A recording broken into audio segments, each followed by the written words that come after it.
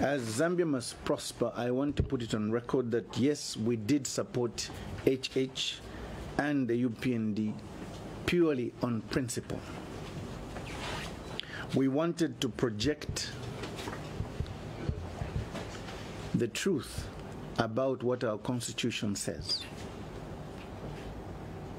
We wanted to protect and defend the constitution of Zambia because we do not believe in third terms for presidential candidates. Personally, I was approached and requested to support Hakainde Hichilema and the UPND by various NGOs, civic organizations, church leaders, friends, and relatives to the president.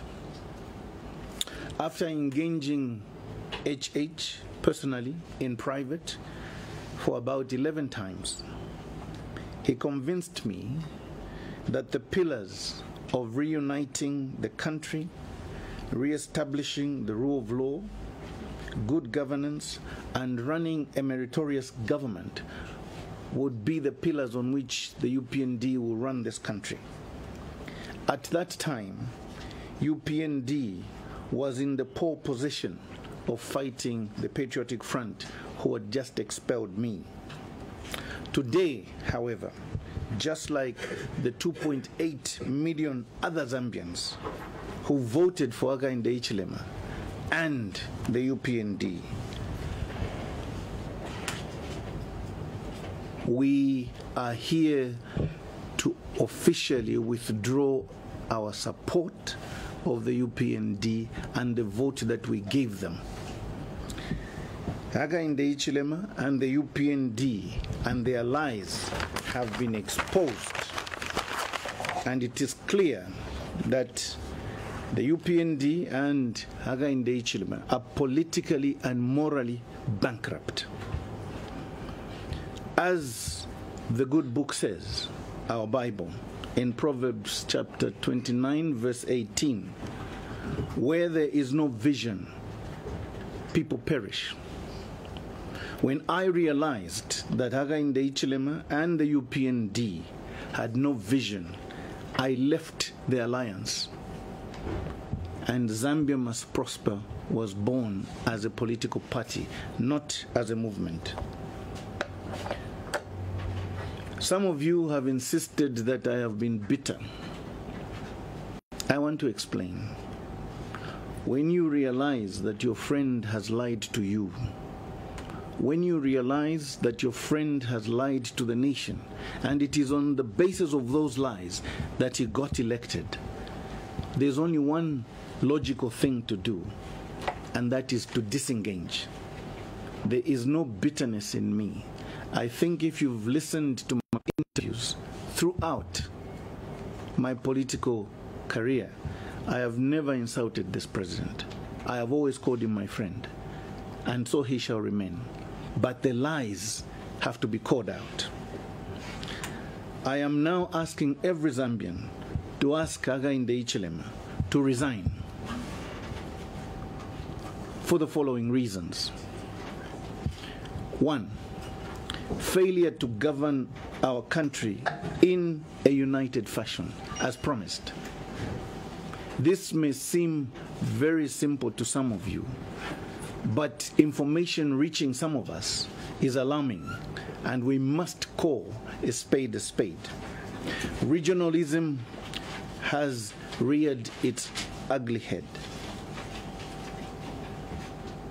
And if we're not careful, we shall see certain parts of this country marginalized and certain people who come from certain tribes not being considered for promotion or for employment or for business opportunities.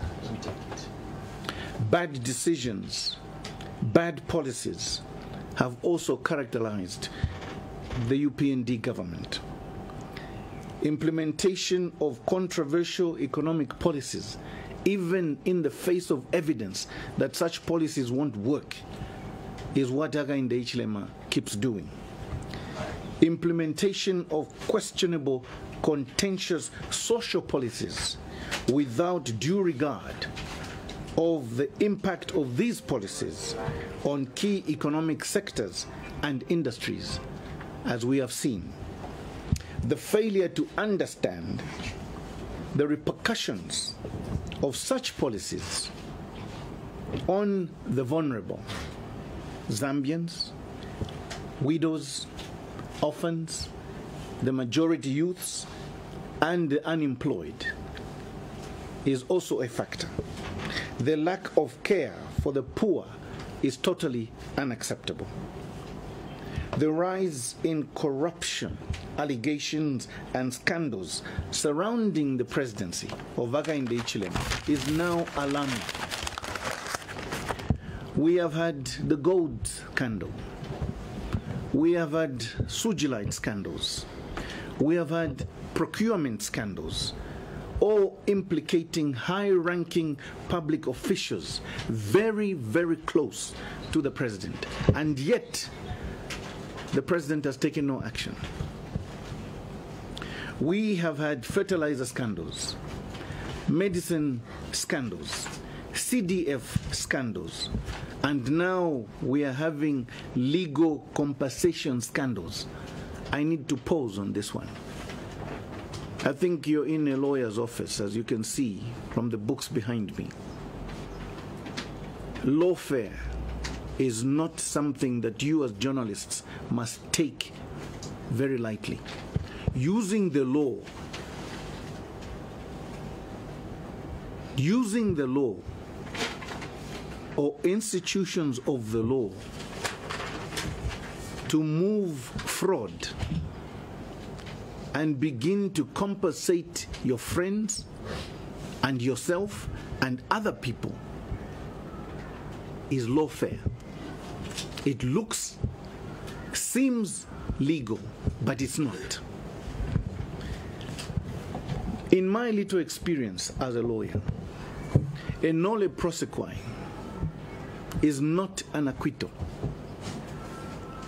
You cannot, at any time, use the fact that the DPP entered a nolle in your case to claim compensation from the government. Further, it is law in the Constitution that whilst in office, a sitting president cannot be sued for his actions. Why is it that now we are hearing that this compensation which is likely to be affected to the tune of six point something million kwacha to people who are in some so-called treason case when only a nolle was entered. The law is that only when you are acquitted and you sue the state and you prove your case for malicious prosecution by the state can you be compensated. You don't keep entering consent judgments. Let me sound a warning to the office of the Attorney General, a very dear friend of mine again, Mr. Mulilo Kabesha. We sat in the same law school, same class. I am asking you to reconsider these compensations which are being proposed for the so called treason cases. A nolle prosequi is not an acquittal. It means the government or the DPP can bring that case again if evidence so permits or if fresh investigations are instituted and new witnesses are found. You are not free. It is not an acquittal. Only when you are acquitted can the government compensate you.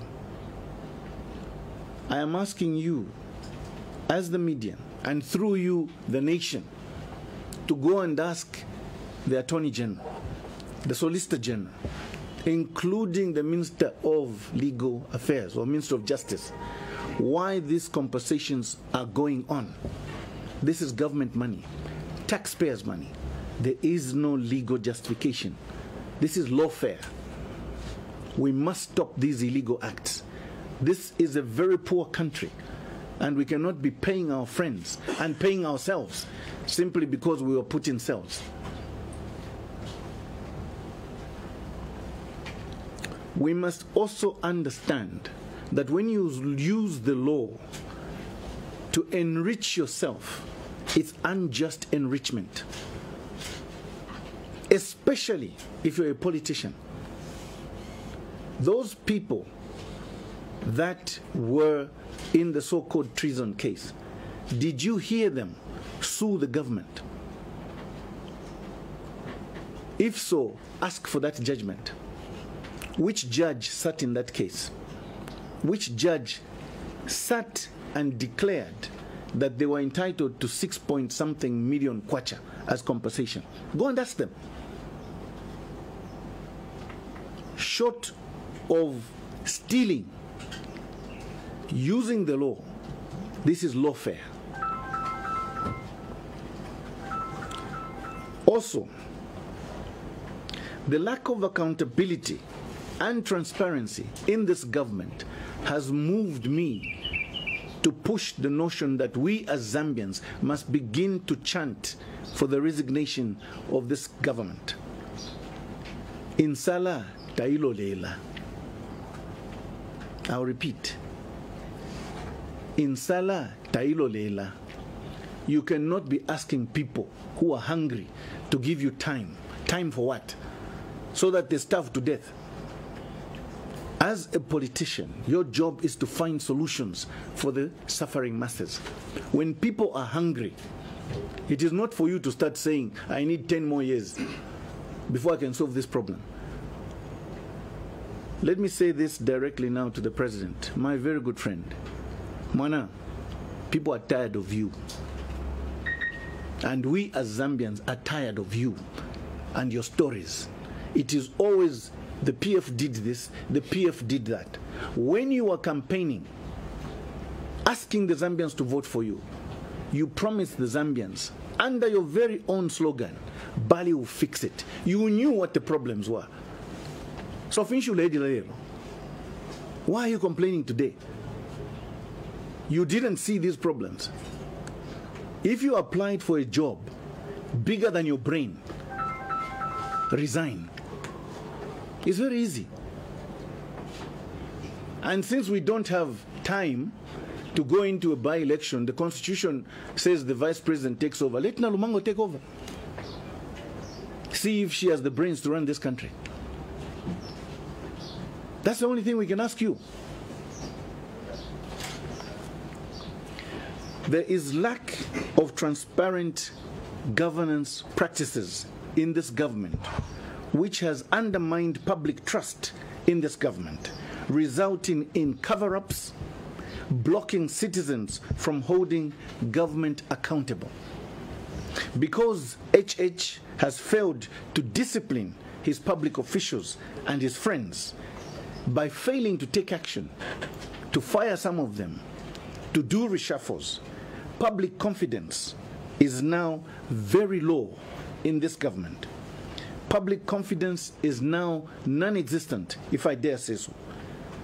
And the only thing for Zambians to do is to ask for Hakainde Hichilema to leave us alone. I'm answering the question that you keep asking me, but why did you support him? But why? You are one of those that support. Yes, I did. Just like the 2.8 million, some of you here we all were lied to. Now it's time to flip the coin. Further, there is a lot of polarization and divisions within society today based on region, based on tribe, based on friendship, and based on party affiliation under the UPND, the country has witnessed very alarming divisions, which we cannot allow to continue. People who are close to the UPND are being favored, and people who come from certain regions have been fired from their jobs in the civil servant, some of them without even committing a crime or having been disciplined. Further, political arrests, political persecution, harassment, and differences have become deeply entrenched under UPND. Citizens are being pitted against each other based again on region. Where do you come from? Your name, tribal extraction, political affiliation. This cannot go on. This is not what our forefathers wanted for this country. This divisive, toxic atmosphere not only breeds confusion, mistrust, and hatred, but also threatens national unity, which was one of the pillars Hakainde promised me personally and the country. Also, this divisive environment has placed a lot of significant pressure and stress on law enforcement agencies. A lot of the people in law enforcement are now being torn apart because they don't know whether to push the agenda of this government or not. Because they don't even believe in some of the things they're being asked to do against their fellow citizens. This can't continue. The recent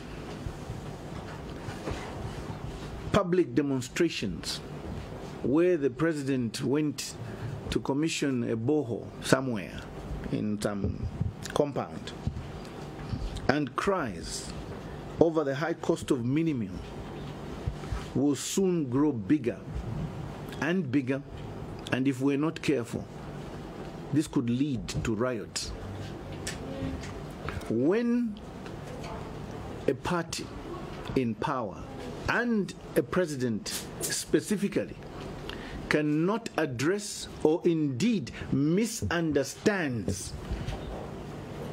what the needs of his people are, then that president is detached from reality. That president is detached from reality. You journalists will remember these as facts. Our first president, Dr. Kenneth Kaunda, the late, may he so rest in peace, was so detached from reality that when people began to shout for the reintroduction of multi-party state in this country, multi-party politics, he still wanted to perpetuate the one-party state. By the time he realized that he had to introduce multi-party politics, it was too late. He misunderstood the mood of the Zambians. That's what cost KK. You also remember, as journalists, RB, a very loved, the late president again, RB, a very loved president in MMD, who put up one of the most expensive campaigns in this country. And yet, he didn't see it. He thought by putting up an expensive campaign and making people eat his campaign, money. People were going to vote for him. He misunderstood. Recently, the PF also misunderstood the Zambians. The PF thought if they put up massive infrastructure in this country, then the people are going to forget cadreism. Then the people are going to forget that this was a third term which was being pushed. They misunderstood what the Zambians wanted. I am saying this to you as Zambians. We have reached that crossroads with Hakainde Hichilema. Hakainde Hichilema is trying to drag this country to the north when the country is saying we need to go south. He is detached from reality. People are crying, Ubungana Udula. And you want to go and start talking about the environment commissioning a boho, clean water. People are hungry. What reality is this? My friend, what reality do you live in? Go and ask him. Hakainde Hichilema has three major traits as a person. And I want you to mark my words. He's my friend, I know him. One, he takes credit where it is not due to him. That's his MO. You heard him sing praise about himself and his government over the Kazungula Bridge, which he never commissioned, which he never built. That's who he is. There are other factors would take credit over. When he didn't do it, that's who he is. Watch him very closely. Two, he likes shifting responsibility to others. So when you talk about debt restructuring, he's shifting responsibility to your children and your children's children because he doesn't want to pay that debt. He doesn't want to face the debt head on. What kind of leader is this? Who doesn't have solutions, but he always postpones the problems for other people. Look at this leader. Thirdly, Hakainde Hichilema never gets advice from anybody, even where it is necessary.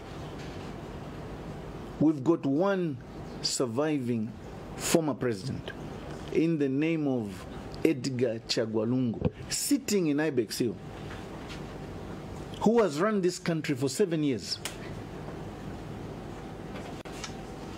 And Hakainde Hichilema doesn't want to go and consult him over some of the problems that you and me are facing. Why can't he take a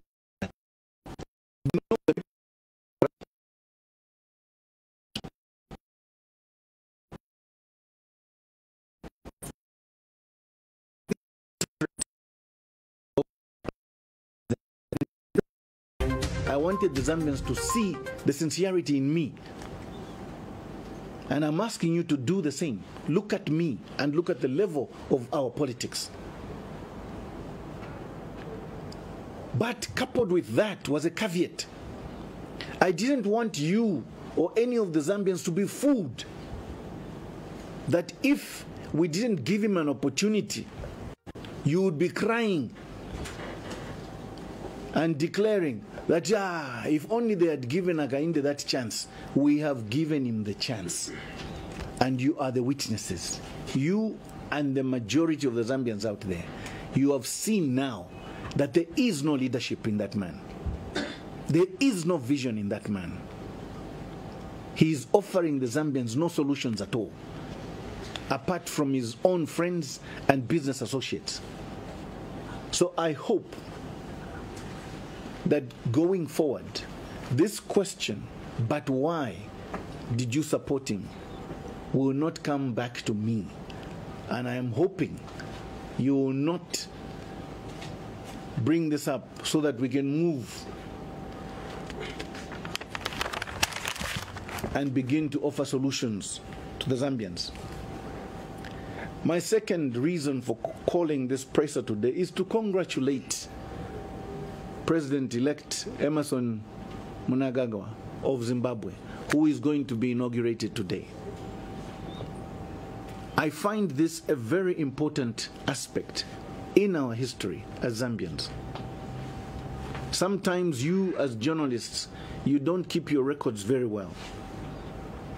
Please learn your history and keep your history tight. Zambia Must Prosper sends its heartfelt congratulations to President Emmerson Mnangagwa of Zimbabwe on the recent election victory of ZANU PF. Zambia Must Prosper wants to place the following on record. We support Pan Africanism and we believe that ZANU PF stands on the principles of Pan Africanism. We do not support imperialism. Zambia Must Prosper does not support neo-colonialism. We believe that African democracy must be allowed to grow and mature without external pressure from Europe or the West or any agents sponsored by other forces. As students of history and politics, we in Zambia must be clear on where we stand on the global geopolitical stage. As Zambia must prosper, we believe in being non aligned. Yet, we must maintain our friendship with both the East and the West out of mutual respect. Zambia must prosper will not allow any military bases on Zambian soil once it takes government. I'll repeat that. Zambia must prosper will not allow any military, foreign military bases, foreign soldiers on our soil. We will not allow that. Zambia must prosper will not allow the exploitation of its mineral resources or natural resources with little or no benefit accruing to Zambians. Zambia must prosper will stand firm on the principle that when Zambians prosper, Zambia prospers. So, in everything this party will do, we shall put the citizens of this country first. We shall amend all the economic laws that we have studied thus far for the benefit of Mother Zambia and its citizens. Such laws will include mining laws, agricultural laws, land law, banking laws, commerce and trade laws. Those are the laws that govern the economic agenda of this country. Zambia must prosper will foster good neighborliness with all its eight neighbors based on mutual respect for each other's sovereignty. Today, we are congratulating Zimbabwe proudly because history has taught us well. What is that history? We know what happened in Afghanistan. We know what has happened in Syria. We know what happened in Libya when Colonel Muammar Gaddafi was overthrown and finally killed. We know what happened in Iraq when Saddam Hussein was overthrown on flimsy, false grounds and finally killed. We know what happened in Iran. We also know what happened in Tunisia. We are also aware today what is happening in Sudan. We are aware what is happening in the DRC. We are also aware what is happening in Ethiopia, what is happening in Somalia, and we are also aware what is happening in Ukraine. As journalists, and through you, the Zambian people, go and find out why these wars continue or why they took place.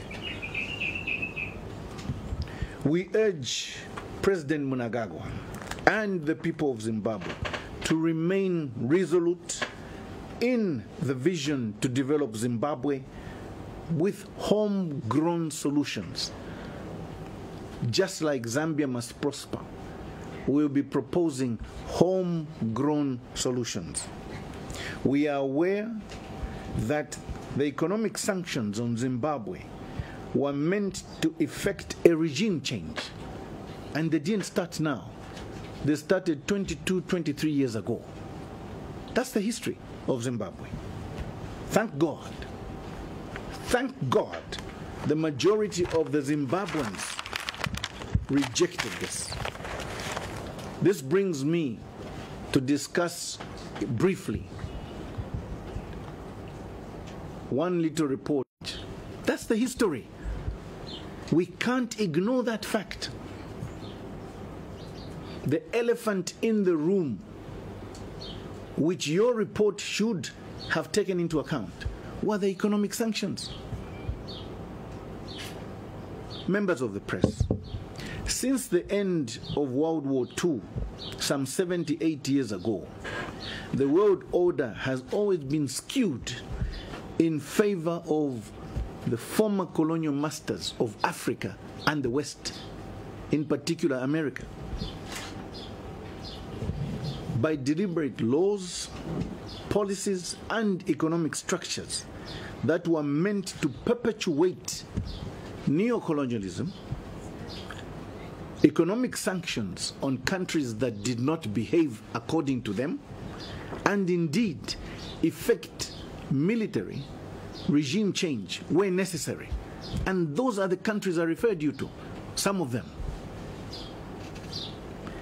Some foolish African leaders have accepted to be used to entrench poverty, ignorance, disease, hunger, and the exploitation of Africa's resources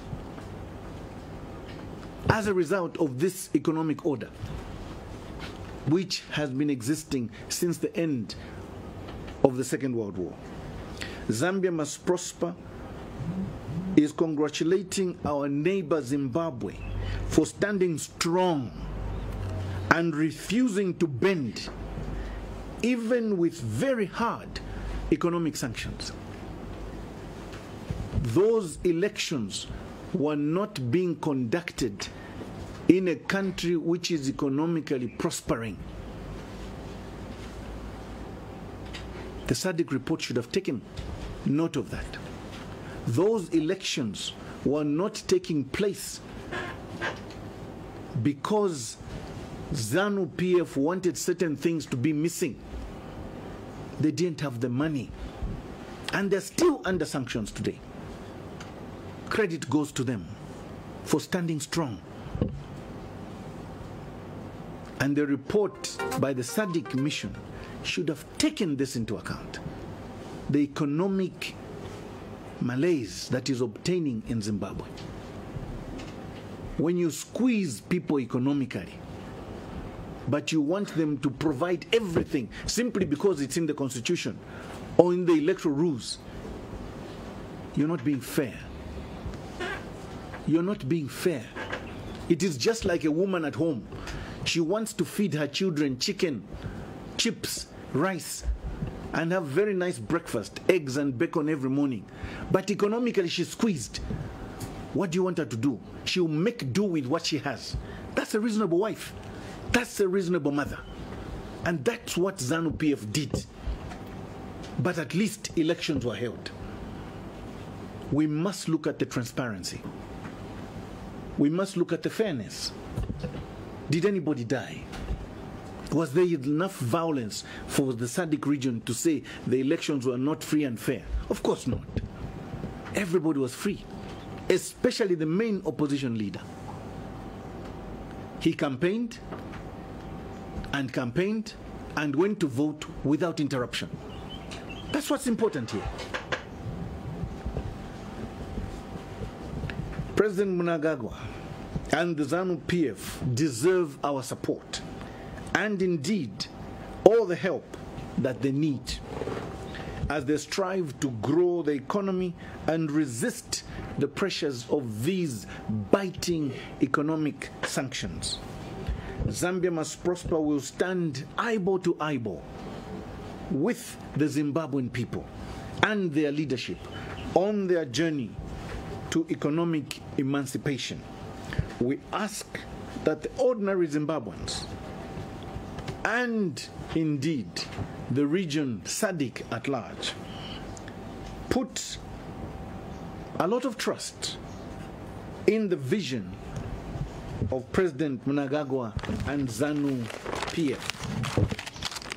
Zambia must prosper in government will not hesitate in recommending that Zambia joins BRICS so that we change the kind of economics we have seen for 75 years skewed in favor of a certain region of this world. We therefore ask that Zimbabwe quickly applies for membership into BRICS so that they can begin to cushion the biting sanctions in that country that their people are going through. This is to avoid the exploitation of their nation's resources because they have been under sanctions. We respectfully and strongly advise Zimbabwe to consider joining BRICS immediately as we believe there is strength in numbers. I am very happy to note that as early as this morning, President Joe Biden has congratulated Mnangagwa. That is how it should be. That is how it should be. That is leadership. I don't know why it has taken Zambia so long to send that message. And yet we are chairman of SADC and Troika. The elections in Zimbabwe are done and dusted. Congratulate the leader and the people of Zimbabwe for conducting those elections under very trying circumstances. And we move on.